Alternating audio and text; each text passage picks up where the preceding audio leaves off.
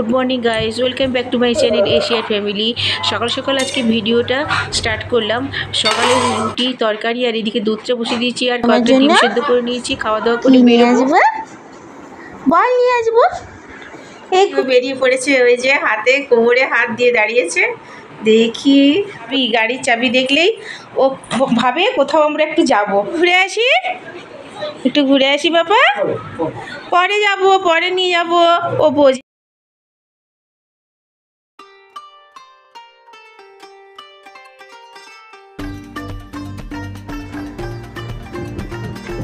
আমরা যাব সরাসরি একটু ফ্ল্যাটে এই চলে এসেছি। একটু ওখানে আমার ছেলে দাঁড়িয়েছিল একটু ব্লগে আসে না ওই জন্য ঝট করে এদিকে ওদিকে করছে আমি তুলে নিয়েছি। যাই হোক আমরা অফিসে এসে একটু বসলাম।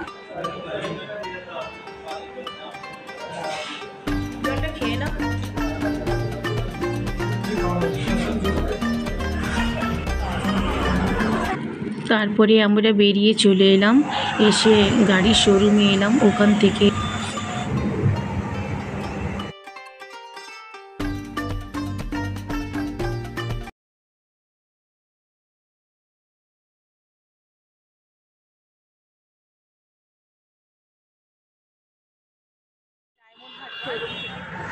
ওদিকে চলে গেছে। আর এই সামনে ভাষা চোদ্দ নম্বর পড়বে।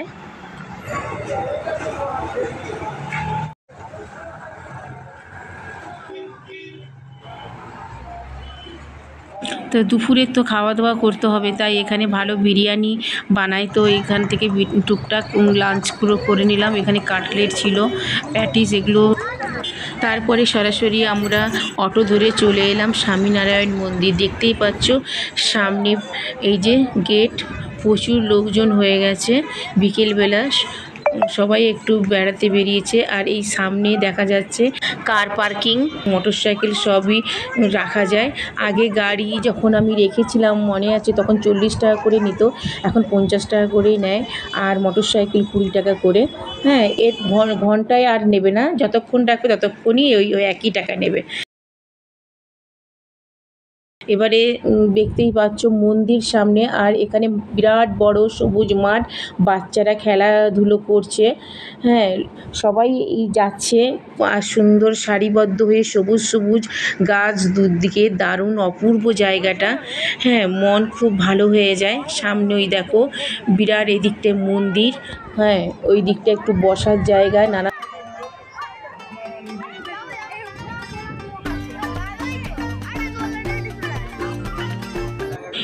এই জায়গাতে সবাই ফটো তোলাতে ব্যস্ত। আর সামনে দেখো কি হাতির মূর্তি আছে, পাথরের তৈরি দুদিকে। আর সামনের দিকে এবার সবাই হেঁটে চলেছে। এই দিকটা কি সুন্দর হরিণের মূর্তি। আর সামনে এবারে মন্দিরে ঢোকার আগেই জুতো রাখার একটা নিয়ম আছে। তাই সবাই লাইন, সারিবদ্ধ দিয়ে একটা ব্যাগের মধ্যে জুতো দিয়ে এই যে টোকনটা আমি নিয়ে নিলাম। এই টোকন দেখি আবার বেরোনোর সময়। মন্দিরের ভেতরে ভিডিও তোলা বারণ। তবুও আমি চেষ্টা করব যতটা সম্ভব আমি ভিডিও করে তোমাদেরকে দেখানোর। তো ভেতরে চলে এসছে, দেখতেই পাচ্ছ। এই যে সব রাধা কৃষ্ণ, বলরামের ছবি স্বামী স্বামীনারায়ণজির ছবি সব কিছু মূর্তি আছে। এখানে সোনার একটা মূর্তি আছে, দেখো। কি কারুকার্যময় পাথরের ডিজাইন করা, পুরো মানে জায়গাটা জুড়ে এত অপূর্ব লাগছে না? দারুণ!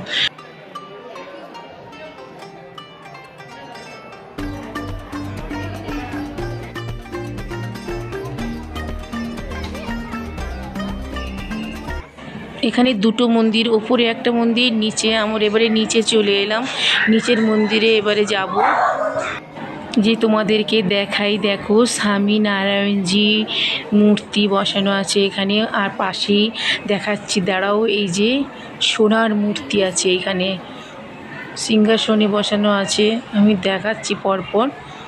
কিন্তু এখানে যদি ভিডিও করছি, দেখতে পায় না, পাঁচশো টাকা ফাইন নিয়ে নেবে। সেই জন্য খুবই সাবধানে যখনই একটু সুযোগ পাচ্ছি তখন পরপর সব মহারাজেরও ছবি এখানে আছে। তারপরে দেখো পাথর কেটে এখানে মূর্তি করা হয়েছে। এরপরে সন্ধে হয়ে গেছে, বেরিয়ে এলাম মন্দির থেকে। এই দেখো সূর্যাস্ত হয়ে গেছে, অন্ধকার হয়ে গেছে। বাইর থেকে তোমাদের একবার দেখিয়ে দিই, দেখো মন্দিরে কি সুন্দর আলো জ্বলে গেছে চারিদিকে। এবারে চলে এলাম সবজির দিকে। এখানে সব সবজিও বিক্রি হয়। এর মধ্যে যারা যারা সবজি চাষ করে, এখানে মোমবাতি, ধূপ, পোশাক, পরিচ্ছদ সব কিছুই পাওয়া যায়। হ্যাঁ মেডিসিনও বিক্রি হয়। তারপরে চলে এলাম খাওয়ার ফুড স্টল এখানে সব সাউথ ইন্ডিয়ান নিরামিষ খাবার পাওয়া যায়। এখানে খাবার খুব চিপ রেটে পাওয়া যায়। আমরা নিয়ে নিয়েছিলাম মশলা, ধোসা ভেজ পনির, রোল, আর নিয়ে নিয়েছিলাম ক্যাপিচিনো কফি আর লস্যি।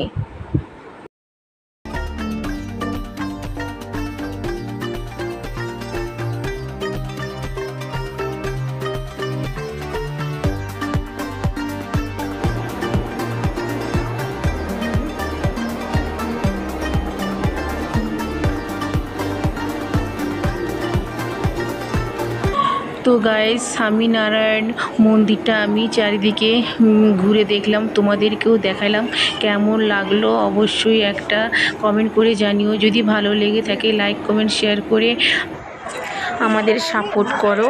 আর নতুন ভিউয়ার্সরা যারা যারা দেখছ, আমার চ্যানেলটি সাবস্ক্রাইব করে রেখো পরের ভিডিও দেখার জন্য। তো চলো, আজকের মতো এখানেই ব্লগটা এন্ড করব। সবাই ভালো থেকো, সুস্থ থেকো।